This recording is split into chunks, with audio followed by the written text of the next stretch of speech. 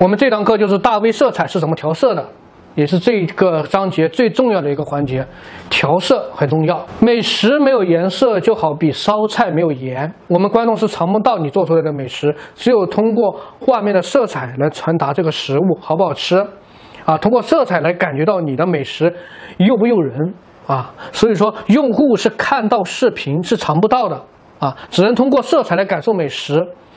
所以说，提升色彩对于每一个美食创作者来说是非常重要的。后期调色不知道怎么调，不知道原理，那么调出的颜色就不好看，没有食欲感。那么调色的原理到底是什么？OK，调色原理，第一，参考颜色示波器调亮度和颜色，一定要参考我们的示波器，这个示波器来调节我们的亮度跟颜色啊。第二个，我们参考大 V 色彩对照调色，因为我们自己盲目的去调色的话是感觉不到颜色的，我们要去对照着大 V 的视频进行对照的调，这样子会让我们调出来的色彩感觉会更加的快。数据只做参考，要理解含义。所以说我们调节这个数据，很多人问我，你这个数据调多少，数值是多少？然后这些数据是没有任何含义的啊，我有的每一道菜。和每一个镜头，我们的数据都会不一样，但是我们要理解这个调色的一些方法，才能更好的来调节我们的美食。好，第四点，我们的美食最后要形成自己的风格，那么就是套滤镜或是 LUT。那我们开始实战进行一个素材进行调色。我们调色原理的，先要打开这个示波器，打开示波器的时候，我们可以看到，啊，这个示波器上面的这个。明度范围越接近于零就越黑，比如说我们的木耳啊这些黑的地方就越接近于零，那么越亮的地方越往上就越亮，那么这些白色的盘子还有这些反光点，那么会往嗯会分布在上面。这个像素点也就是我明暗关系的变化啊，越接近于零越暗，越到上面越亮。可以看一下我们往上把明度往上提，可以看我们的分布点都往上提了，就是越来越亮。我们暗越往下走，我们的分布。分布在下面的这一块就比较暗，越往上越亮，越往下越暗。大概要知道这个，看这个明度的范围啊。那这个是我们的红、绿、蓝，也就是说我们所有颜色是通过红、绿、蓝组合而成的。那么可以判断我们的亮部红色和绿色是比较多的。那我们暗部呢，那就是蓝色比较多一点啊。可以看到我们呃主要是偏什么颜色？如果说我把色温往往这边偏蓝，那么蓝色色调就上去了；那么往右偏，那么红色色调上去了，整个画面偏红。啊，通过这个示示波器上面这个图可以判定我们的颜色是偏什么色。啊，当三个颜色平衡的时候，那么我就是我们说的白平衡，颜色就准确，比较平衡的。啊，这个可以作为参考的价值。那么我们这边下面这个圈是代表的饱和度，看我们的饱和度。上面有红色的点，比如说个二代表红色，Y 代表 Y 代表黄色，B 代表绿色，啊，这些都是代表各个颜色。那我们那我们调节的时候可以看，我们饱和度越高，我们的这个饱和度的这个数据分布的东西就超出去了。当超过这个点，超过这个点的时候呢，这个就提示你已经过曝了，那么需要收回来。啊，一定要收回来。我们调饱和度的时候啊，调红色饱和度、黄色饱和度、绿色饱和度的时候，一定不要把这个，一定不要超过这个圆圈这个点。那么中间这一块没有点怎么办？那每个点之间有连接线，大家可以看一下，我们每个点与点之间有连接线，我们连接线超过这个连接线也不可以。比如我们这一块已经超过两个点之间的连接线，那么我们这个也是过曝的。必须要收回来，所以说这个圈儿是看我们的饱和度啊，偏向于哪里，有没有过曝？它这个红色肯定偏往红色，啊，黄色偏往成黄色，啊，绿色偏往绿色，这个 B 就是蓝色，偏向有蓝色的话会偏向于我们蓝色，所以说这个就是我们的示波器。这示波器到底还有什么用处吗？这个示波器还可以分析我们对标的账号的一些好的作品，把它。下载下来，放在电脑上面，可以看一下它的示波器的分布。比如说，这个作品就是一个大 V 的作品，可以看它我们的明度，它大概的明度大概在六百，比较暗。那我们调色的时候可以把它控制在六百。那么的，暗部更加的接近于零。我们大部分的明度分布在九十到六百左右，所以说它整个画面会有点偏暗。啊，还有我们的红色、绿色、蓝色，可以分析出它的。红色其实是比较多的，因为它的桌子、它的辣椒比较红，那么整体看起来会稍微偏红一点。所以说这个风格会偏暖色调。那么它的饱和度呢，可以看到它其实离这个方框很远，那么只在这个位置，那饱和度没有那么鲜艳，饱和度稍微适中啊，比较柔和。控制饱和度的时候，也可以根据这个示波器来判定我们大 V 的色彩空间。现在这个下面这个素材是已经剪好的素材，没有经过调色啊，这里都没有嗯回复，没有经过调色的啊，现在都没有经过调色，这上面全是零的啊，调节这里。然后我们首先打开示波器，把这个调成九比十六，然后把调节层拉下来，点这个加号。好，首先我们把这个调节层加到这下面的时候，我们首先把示波器打开，然后呢，我们控制亮度。我们整个画面分布在下面有点偏暗，我们需要把亮度整体拉高一点，啊，拉高一点，大概分布在八百左右啊，亮度这里八百左右。如果说我们对比度拉高，就是我们的黑的地方更黑，亮的地方更亮，对比度它更高。那么降低对比度呢，它们就是暗的地方就没那么暗，亮的地方没那么亮，那么就加速在中间更加的灰啊。所以说我们最好是不动，我们通过高光阴影光感来拉开我们的明度范围。那么高光拉起来就就是控制我们这个白色的地方，还有反光点这些实物上的反光点，啊，这些最亮的地方就是控制我们的高光。那么高光往上提，可以看到我们的高光点一往上就走了，啊。目前对于这个画面来说的话，我们的高光要往下收，啊，我们高光不要太亮，看太亮太刺眼，看起来不舒服。我们需要把高光往下拉，高光往下拉，啊，这样子我们画面更加的舒服一点。啊，不那么刺眼睛。那我们再调节阴影，阴影是调什么呢？阴影是调我们的暗部。我们暗部在哪里？我们暗部在黑色的木耳，还有黑色的背景布这些，还有黑色的阴影。那我们把这个阴影往下降，我们可以看到我们的黑的地方更黑，啊，更黑的地方会更加的黑，木耳会更加的黑。那我们提起来呢，我们黑的地方就没那么黑了，就稍微亮堂一点了。那么从通过这个画面来看的话，我们阴影往上加，加到。加一点点就合适了啊，就是加到我们觉得这个黑色的木耳，还有我们黑色地方觉得阴影比较合适的个状态往上提。那么光感是什么呢？光感就是我们的中间色调，就是我们这个中间色调光感。那我们光感都画面的中间色调在哪里啊？那么就是实物这里就是我们中间的色调。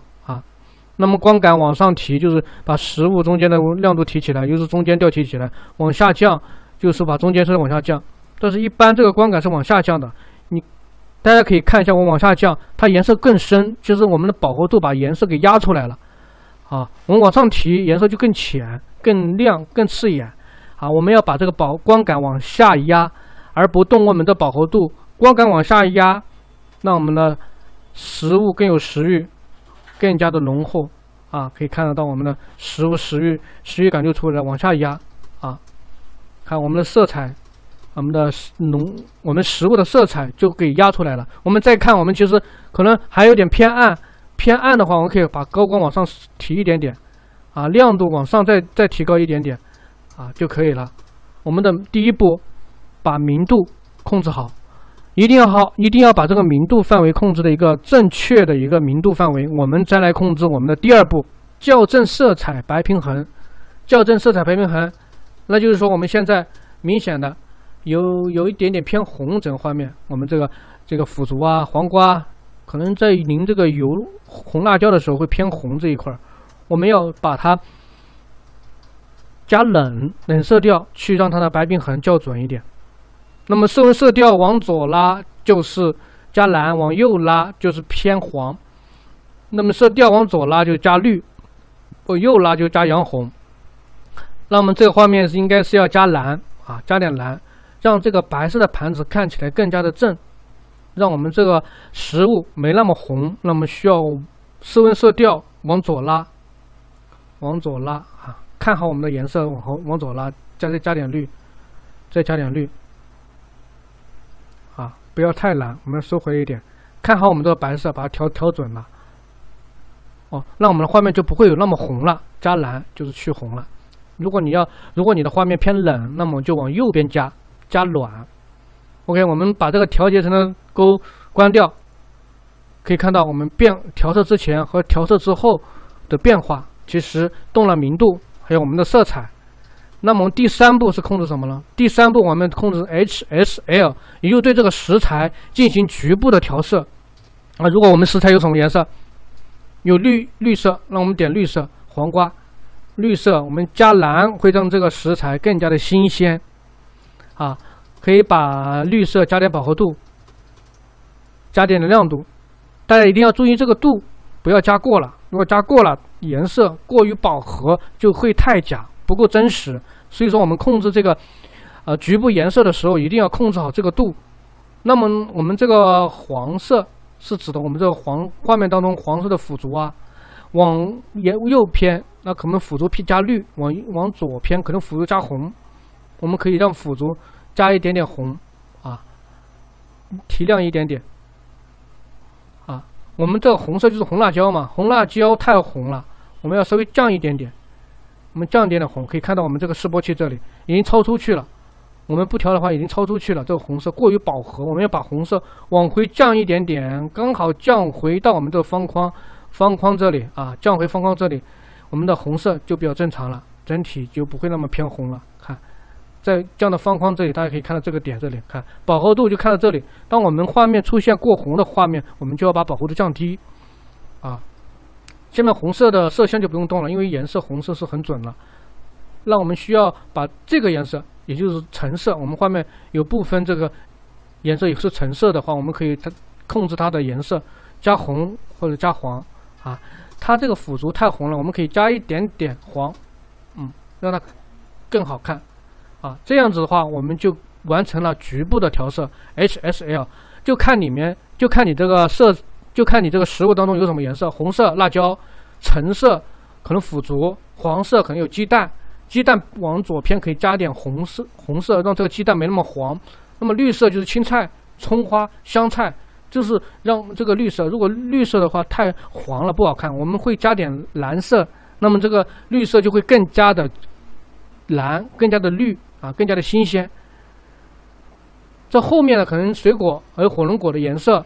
啊，和有可能是茄子的颜色蓝色，都可以根据食材的颜色进行不同程度的调节。调节一定是点缀，不能太过于饱和，也不能过于艳丽，这样子不够真实。所以说这个是进行局部进行调色。那我们最后一步一定要加一个锐化，加锐化就是这里啊，可能在三十到四十左右。等于这画面我会加个三十，加锐化之后，我们的高光更加的明显了，会更加的突出。啊，我们上传之后清晰度会更加的高，这一步是一定要加的。所以说最后我们要形成风格化的话，就要在这里加 LUT。看这里有各种各样的 LUT 可以添加。啊，可以选一个我们经常用的这个 LUT，这个这个 LUT 的话强度要调低，调低，往上提一点点，让我们整个颜色会偏一种青色调。青色调这个是青色调。这个 LUT。啊，在课程里面都可以有下载的啊，下载路径的下载包。下载之后，大家可以直接点开调节 LUT，然后导入 LUT。比如这个 LUT 我想要，我就把它点打开。那么，那么在这里的时候，就这下面就有了啊，这边是对应的啊。最后我们要整体看一下我们的颜色。那么我们这 LUT 可以形成风格化。我们关掉这个 LUT。可以用这个滤镜也能形成风格化，啊，我们滤镜也形成一种风格化，可以在人像里面加上我们的透亮，人像这里有个透亮，啊，透亮不一定不要开高，开一点点就够了，啊，这个透亮的风格，那我们也可以在里面加一个颜绿的风格，啊，颜绿的风格也是另外一种风格。那么我们不一定要加那么强啊，加一点点，我们风格也可以。那么还有一种卵石的风格，我们的卵石的风格要让食物更加的有食欲啊，但是不一定不要加太大，要加一点点就够了啊。根据不同食材不同的曝光亮度，看我们卵石的效果也挺好的啊。好，我们可以自己去看一下里面有各种各样的滤镜，那么滤镜可以自己去。套用自己去尝试，形成自己的风格，在这个滤镜里面可以看得到啊。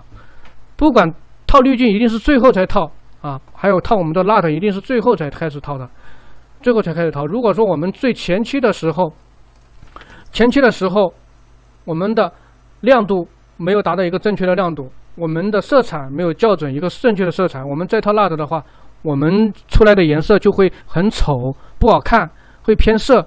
所以说，我们前期基础的调色一定要把它调准、调好看，色彩不能偏色，然后再套 LUT 才能形成风格，再然后再套滤镜形成风格。这样子的话，你的色彩就不会太乱。好，我们调完颜色之后呢，我们可以多看大 V 的作品，可有效的提升色彩感觉。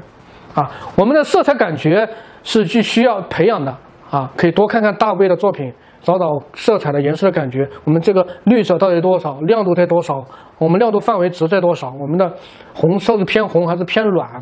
所以说我们可以参照这些大 V 的作品。OK，我们下一堂课就开始讲我们美食剪辑调色遇到的哪些问题，把它给大家回答一下。